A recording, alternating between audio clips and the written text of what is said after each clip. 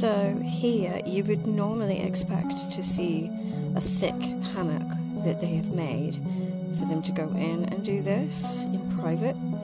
Um, but for some reason, she just decided to go for it in her enclosure like this, which and she's upside down, which isn't ideal for safety. Um, you can see her legs kind of coming out, and the exoskeleton at the top.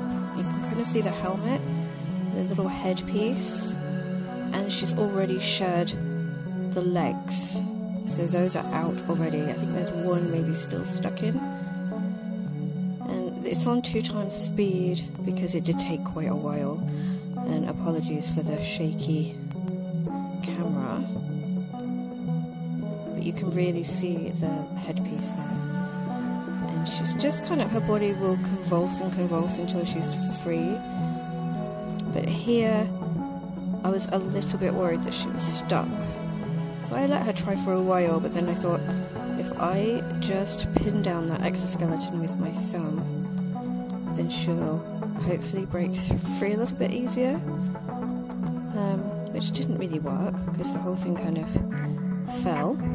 But luckily, I'd moved her to a small pot by this time, so she didn't have far to fall, and there was nothing she could injure herself on. Uh, so I used a little brush to kind of get her free and she seemed grateful.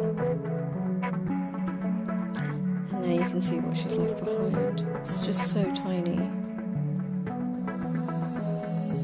And there she is. She's going to be quite jelly-like for a day or so, just while everything hardens back up. And just like that, she's done.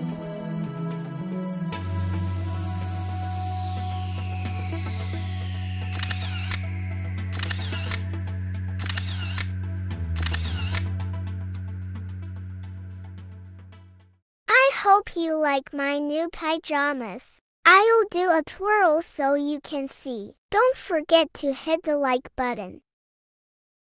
And subscribe too. If you have any comments leave them below and my mama will reply soon. Thanks for watching. Bye.